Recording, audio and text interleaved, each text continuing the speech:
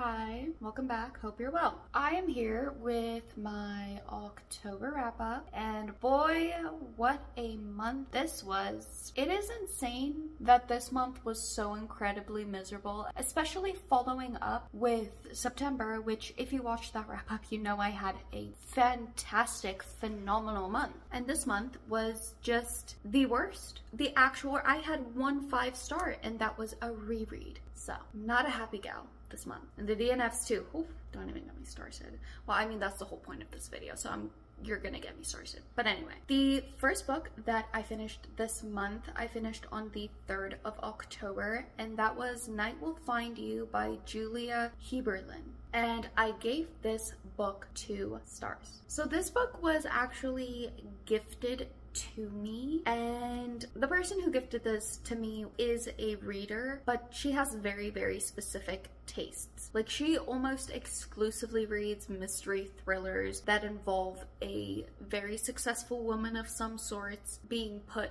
in a very compromising situation of some sorts so this book, as I was reading it, I was like, I can see how she would like it. I can see this book is very her. However, this book was not very me, which is why I gave it two stars. I did almost DNF it, but it was just interesting enough to the point where I wanted to finish it. The weird thing is this book has like stayed with me, like I've thought about it a lot, but it's still just, it's so not me. And then I just, I don't know, I didn't really connect with the story. I didn't really connect with the characters. Overall, just not my vibe. What this book is about is essentially this woman who is a scientist. I believe she's an astronomer looking for aliens, is also a psychic, and she is brought in by the police to help solve a mystery of a missing girl. And then as she's helping him, she also becomes the target for a conspiracy theorist podcaster, and she's just kind of dealing with her being a psychic while also being a scientist, working with this detective who is very skeptical of her, and then this podcaster trying to essentially ruin her reputation. So it definitely is interesting. It just, I'm not the audience for it, so that was my main problem with it. But despite the fact that I gave it two stars, it is a book that I would recommend if it sounds interesting. The next book that I finished, I finished on the 5th of October, and this was my reread that I gave five stars, and it would be none other than The Love Hypothesis by Ali Hazelwood. It's basically about a PhD student who ends up fake dating a professor at her uni because her best friend wants to date her not old boyfriend but like she went on a couple dates with him and her best friend's like into him but she doesn't want to break girl code so she fake dates a professor. It's fun it's a very fun read. I've talked about Ali Hazelwood a lot, especially in my Lost wrap up where I read Love Theoretically. Her books are fun, they're very enjoyable, and I won't take criticism on them. So if you don't like them, I completely respect that, but I don't want to hear about it because I love her books very, very, very much. I think they're very fun, they make me very happy, and they're just also so silly and goofy. They're the perfect read for if you want to turn your brain off. There's a lot of science talk in them, especially the newer ones. Like in the Love Hypothesis, there's very little science, and then in Love Theoretically, there's the most. But it's not to the point where it distracts from the story, at least not for me. I am not a science person. Anything science related completely over my head. You know how they say in one ear, out the other? It bounces out. It doesn't even go into the ear, it just bounces. So, not a science person, do not get science, didn't do well in any of the sciences, like, do not even come near me with that and I'm fine reading it, so I'm I'm fine. You'll be fine. 10 out of 10 would recommend. The next book that I finished is actually a previous DNF and it is A Curse So Dark and Lonely. And I finished that on the 11th October and I gave that 3.5 stars. So I originally DNF'd it because it felt like it was written for the younger side of YA and I just couldn't really connect with it. Like it felt like it was more so written for a 12 year old, which is completely fine. I understand that when you read genres that you're not the audience for, it's not always gonna click, and that's not the story's fault because you chose to pick up a genre or a storyline that wasn't written for you as the target audience, and that's completely okay. I never really judged the book for that, and I did actually want to finish it, so I found out I could request the audiobook from my library, so I did, and they bought it for me, and I ended up finishing it, and I did actually enjoy it quite a bit. I actually will be picking up the sequels once those have been purchased for me as well, which even when I read the original, it was never my plan to continue the series. I just wanted to read the first book. So the fact that I enjoyed it that much was really fun. So basically, A Curse So Dark and Lonely is a Beauty and the Beast retelling. So the main girl, Harper, is basically kidnapped by the Prince the Beast's assistant and taken to his kingdom where he tries to get her to fall in love with him. And it's a very, very close retelling to the original. So aside from minor details of of what his beast is, if he turns human, things like that, obviously that changes, but the actual like storyline follows the original fairy tale pretty closely, which I really enjoy. I love retellings. There's this one book series, I don't know the name, but I really want to get into that book series because it's just a bunch of retelling. So it was really fun. If you can either put aside the genre of it being YA and look past it, or if you are the target audience for that genre, if you're on like the younger side, I would say maybe like 15-ish, I do think this is a very fun book and fun series. Honestly, I really did enjoy it. I'm excited to continue the story at some point when my library buys me the books. And yeah, I think it's just going to be a good old fun and dandy time. And I mean, it's a fairy tale retelling. How could you not like it? So the next book that I read, I finished on the 12th of October and I gave it three stars. And that book would be Stuck With You by Ali Hazelwood. So basically, this is one of her short stories that is in the Love to Loathe You collection. So the one thing I liked about this book is although the male character was again like eight feet tall, Dwayne the Rock Johnson muscle man, she was actually intimidated by him for a little bit, which I liked because as a woman, I do find height attractive. Like, do not get me wrong, like with any person, man, woman, non-binary, I find height to be attractive. Not a necessary quality, but just if you have that, you know? But especially when it comes to men, if they're a lot bigger than me in both height and width and weight and strength, that kind of scares me. I don't like it when men are so big that it, I look at them and I'm like, you could squash me with a pinky finger. So I found that to be very relatable and I liked that she was a little bit intimidated by it because it was nice to see that quality of me in a different character. So I did like that. But yes, this one was just basically about an engineer falling in love with a different engineer in her office. There's really not much you can say about it because again, they're like 100 pages, so it doesn't really go too in depth. And then also just to clump these together, I also finished Below Zero. I finished that on the 17th. Three stars. It was fun. This one I had read before actually, but I was reading all of them, so I wanted to read it again. And also you will notice I did very much read these out of order, so that was my mistake, but that's just how they came in from the library, so not much I could do about it, but this one was fun. This one is she's in the Arctic doing something for a project and she gets stuck in a hole.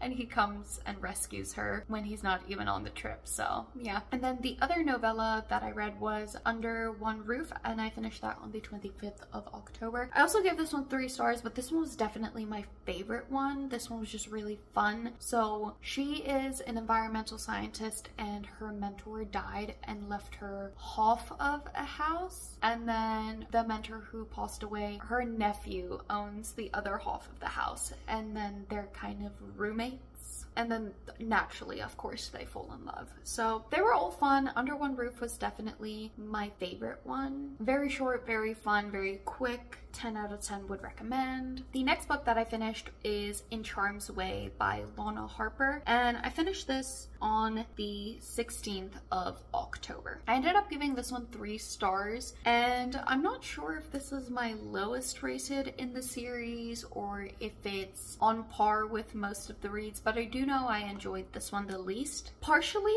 my fault because one, massive reading slump this month. Nothing was hitting right. Nothing was it was bad. It was a really bad reading slump. I've only just kind of gotten out of it thanks to the final book that I finished. So that was the first problem with me. The second problem with me is the other three books in the series I listened to and then this one was gifted to me so I physically read it. So the issue is that I really did not remember what happened in the series because I've I've been reading these books since the first one came out, so there's always been a year gap, so I don't really remember what happened in the plot before. And these are interesting because they are interconnected standalones. However, the plot carries over quite a lot. So it's not like normal interconnected standalones where it's like, oh, you can pick up book three first, but you'll kind of know a bit about book one and two, but it won't fully spoil it. No, like you need to have read book two to know how it carries on in book three, even though it's a different character in book three than in book two, if that makes sense. So I didn't remember the plot. So I was very lost plot wise. So that didn't help me. I was really struggling to get into it. My one gripe with this book is that there's no real like plot reminders. So usually when you watch a show, they have a recap of the previous seasons or like the parts of the previous episodes that are important to this one. Or when you watch a movie at the beginning, they kind of just give you like a brief little info dump of what happened in the first one as a reminder. And I really appreciate that because sometimes you don't watch the first movie. That happened with me. I went with someone to watch the second Spider-Man movie of Tom Holland, but I had never seen the first one. So that brief little synopsis at the beginning where they were like, oh yeah, everybody appeared back because this happened and the catched me up a lot and I could understand what they were talking about for the most part. This book doesn't do that. It's just like a oh yeah, this person did this, but it's really like it's one sentence. It's not explained well enough. So I was very confused. I couldn't understand why she was in the situation that she was because I couldn't remember. And I really wanted to read it and I didn't want to wait. I think it was 12 weeks or something for the previous book to come off hold. So it was fun. It was good. It's a continuation of the series. So I don't really want to get too much into what the book is about in case you want to pick up the series. But there is a fifth book coming out called Rise and Divine. I don't know when, but it is coming out. So my plan is to purchase the rest of the series and physically reread every single book before then so that I'm caught up and I know what's happening. The next book that I read was See You Yesterday and I finished that on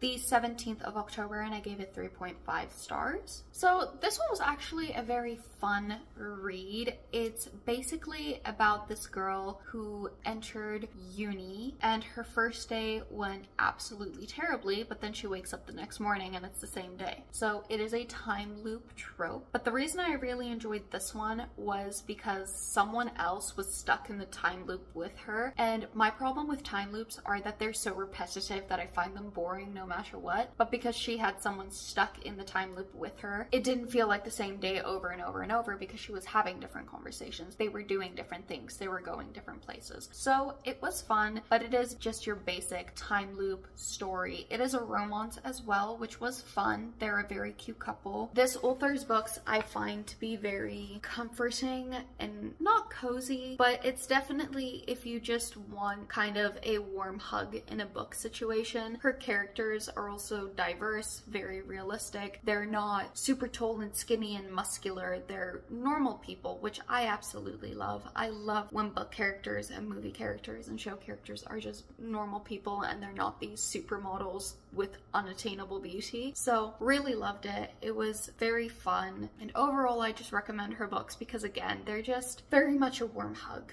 with ink on paper. So the next book that I read was Want to Know a Secret by Freida McFadden. I finished it on the 18th of October and I gave it 2.5 stars. So the reason I picked this one up was because Freida is great to start getting out of a reading slump because no matter how little motivation you have to read or how bad your reads have been, her books are so quick paced and addicting that you will binge it. And that's exactly what happened to me. I read this book in I think two days. So it's a very fun book. I really enjoyed it. That is a lie. I don't know why I said that. I am a liar. It was a fun book, but I am kind of guessing tired of Freida McFadden a little bit. That being said, won't stop reading her because again, her books are perfect if you just need something quick. Like her books aren't short by any means. Some of her books are 400 pages, but 400 pages of her books compared to a romance or a fantasy go so much quicker. They're really, really, really fantastic for that. So that's why I'm not going to stop reading her books. However, one thing about her work, and I have mentioned this before, is they're all very fat phobic, which I don't like. I'm a woman. If you are a woman, you know what it is like. The pressure of you need to be a certain weight, you need to be a certain size, you need to be a certain body shape, you need to have a flat stomach. I truly believe that it is very toxic and unhealthy and upsetting, and you shouldn't live that way. Freida loves that mindset, it seems like, and it's so wonderful.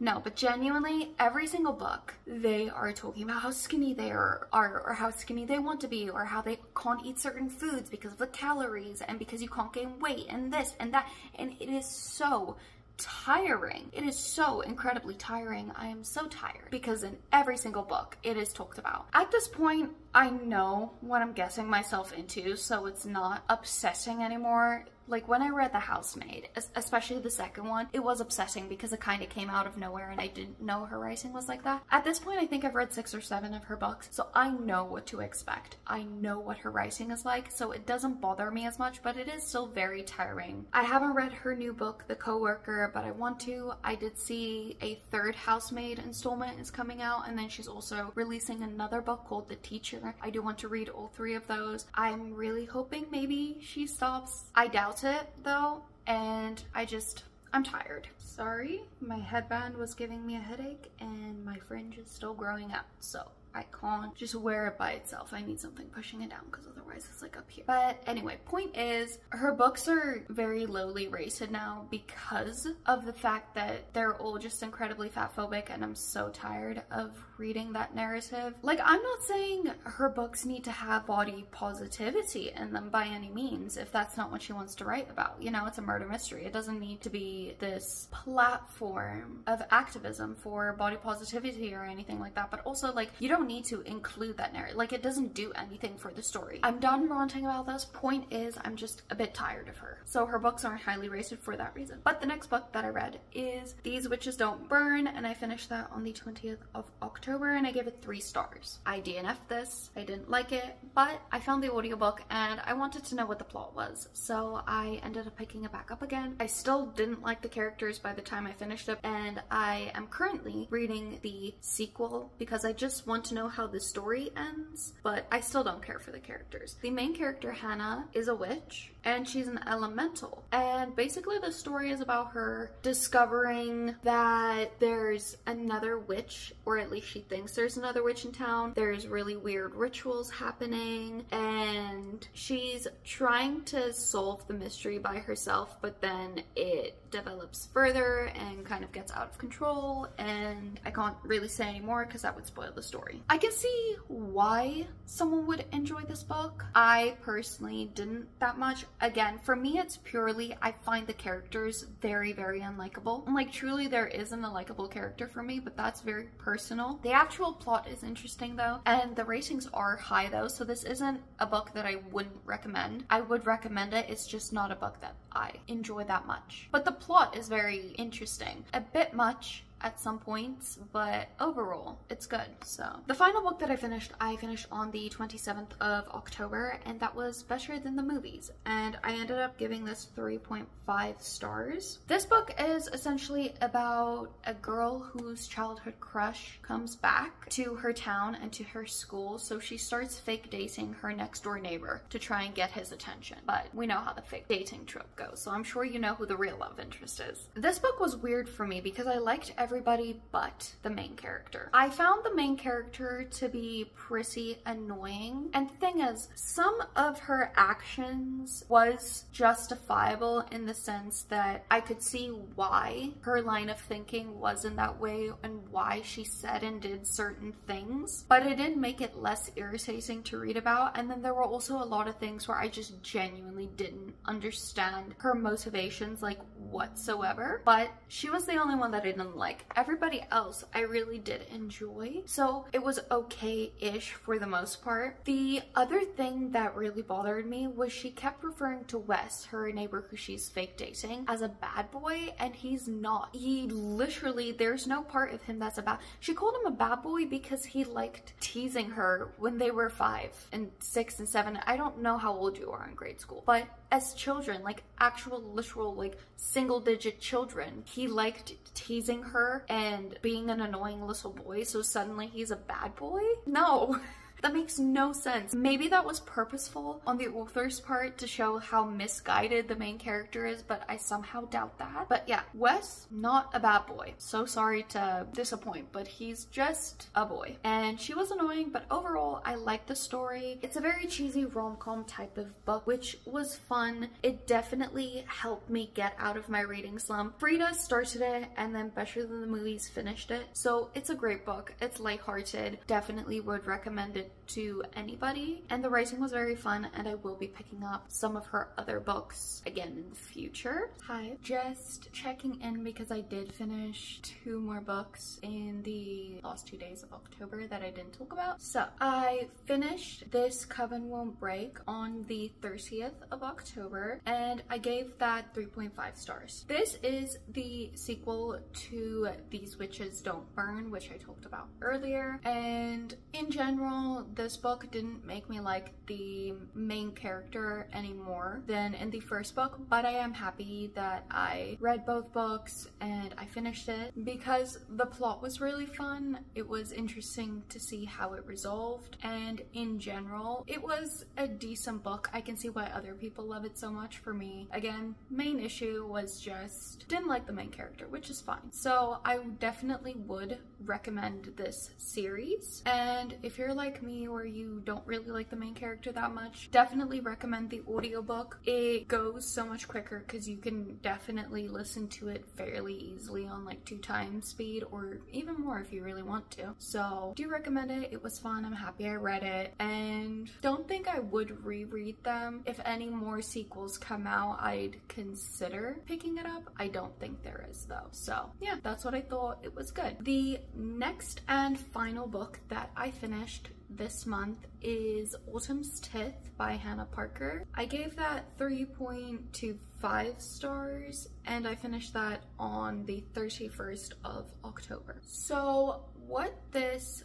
story is about is essentially once a year there is a choosing ceremony where different towns offer up all of their girls between the ages of 12 to 18 to be Fae and then our main character wants to be picked because her best friend was picked the year before. She basically discovers that her best friend is in danger in the Fae world and so she goes over and the story kind of progresses from there. I don't want to say too much much more. It was fun. I liked it. This was actually a gift from my parents because I'd been wanting this book for a while because I love books about fairies and autumn's my favorite season. So Autumn's Tithe, a book about fairies, I thought it was meant for me. However, based on the ratings, you could probably tell that this wasn't my favorite book ever. The one thing about this is that I will be finishing the trilogy. I'll pick up book two in the next month or so. I would like to finish it before the year ends, especially since book one ended on a cliffhanger. I really want to know what happens. Book three isn't out yet. There's no indication of when it's coming out, but I'm hoping maybe next year. But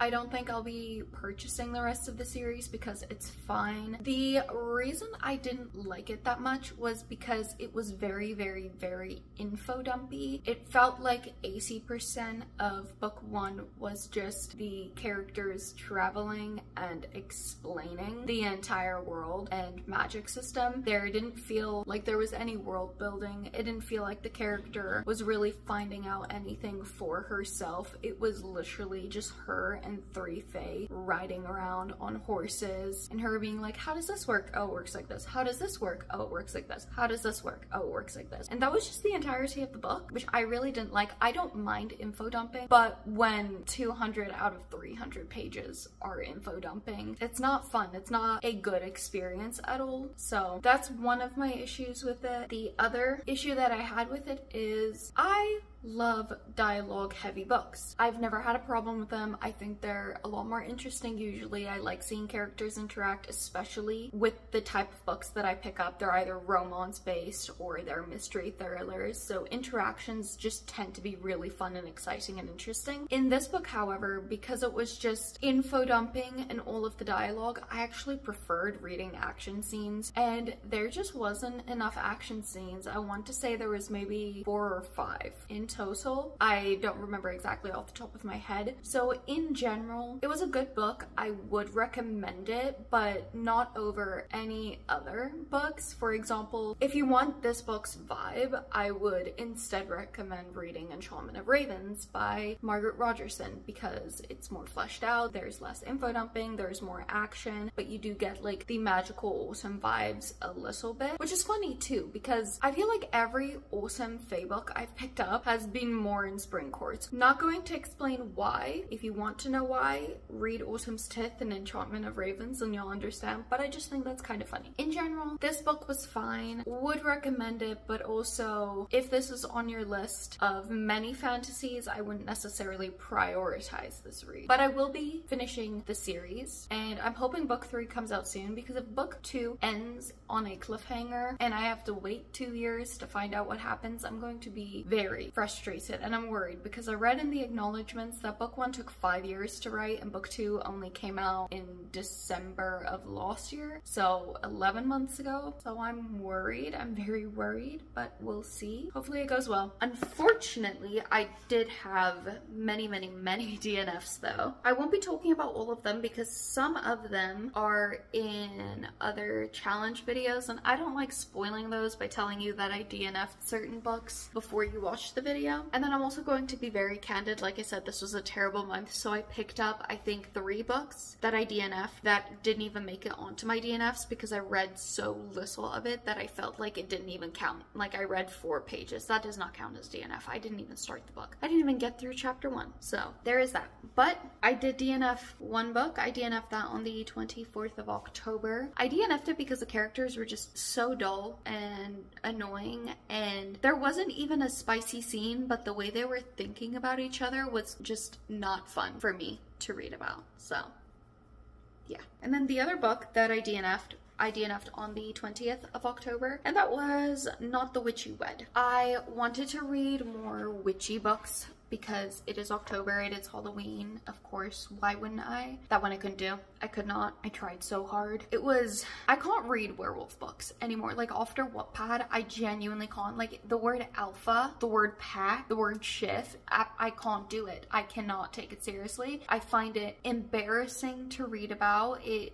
actually like gives me physical cringe when I read about it. And if you like reading about that, absolutely no hate. This is just my personal opinion because during Wattpad, I read Justin Bieber fan fictions, Andy Biersack fan vampire romances, and werewolf romances exclusively, especially a ton of werewolf and it's just gotten to the point where I can't take it seriously. And especially also with the whole Andrew Tate thing that happened the word alpha just gives me the ick. So I couldn't do it. I won't be picking up the audiobook for it. I know it's available and I definitely won't be picking up the sequels either. The writing style the way they spoke the fact that it was world there was just nothing about this book that I enjoyed. That being said it's a very like very highly rated book so don't let my review put you off by any because a lot of people love, love, love this book and I can see why, but for me, it's a no. It's a very, very, very big no. And, you know, again, unless it's something like not giving trigger warnings or like being problematic, I usually don't blame the authors for things like that. Like, that's all me. So I know I'm being harsh